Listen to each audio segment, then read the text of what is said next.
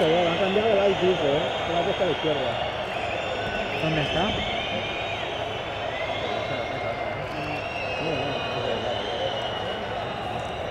Va a pasar más cerca de la grada de la derecha. La y luego dejan por el lateral.